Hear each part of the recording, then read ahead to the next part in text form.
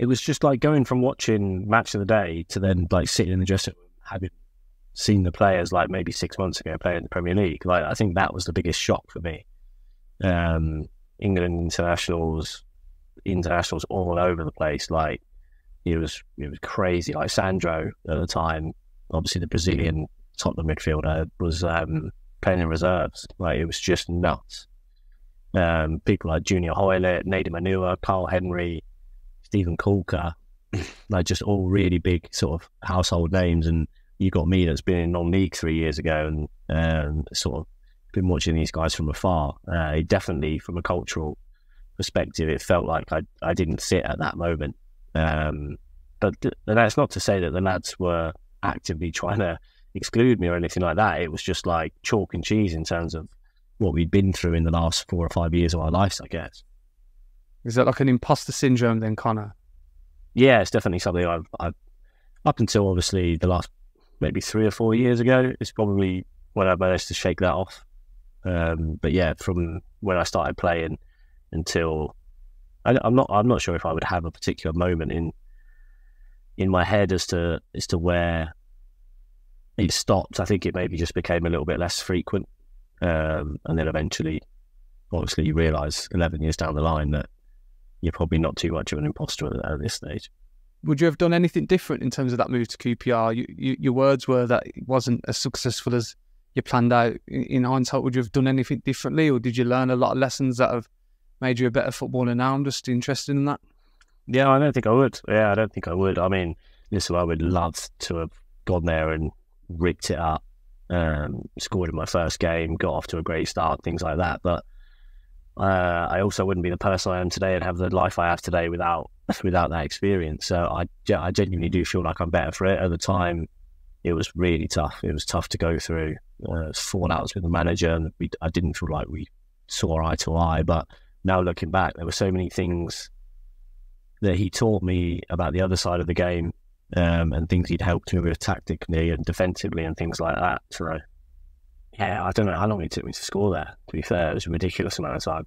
Um, as a striker, you want to go in and you want to score early. Um, the standout goal for me was probably it's not the most the most positive thing ever, but I think it was the penultimate game of the season, and we were really struggling. We had a really bad year. Uh, we weren't far off getting um, dragged into a relegation scrap, and um, we ended up beating Nottingham Forest two 0 at home, and I'd scored the second goal, and uh, to keep us in the league basically.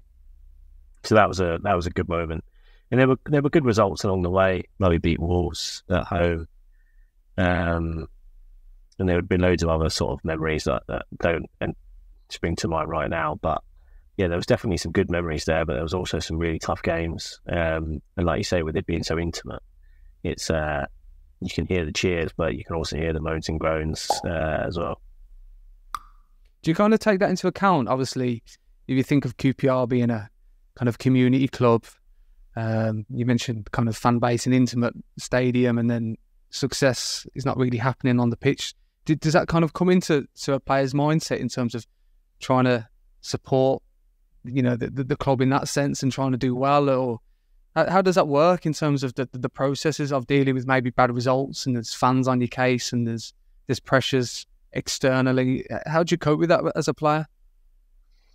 I think that you know the match day stuff is is totally understandable. I think um, because you're there, there in the moment. I mean, I listen, I watch football. I understand how frustrating it is. I do it at the TV now.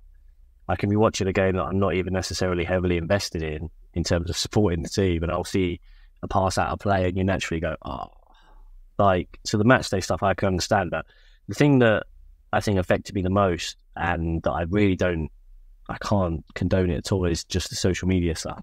But I ended up coming off social media for must have been must have been it was definitely for the rest of my time at QPR. Um, it was a good year, eighteen months, I think, all social media. Uh, well, no, Twitter and Instagram.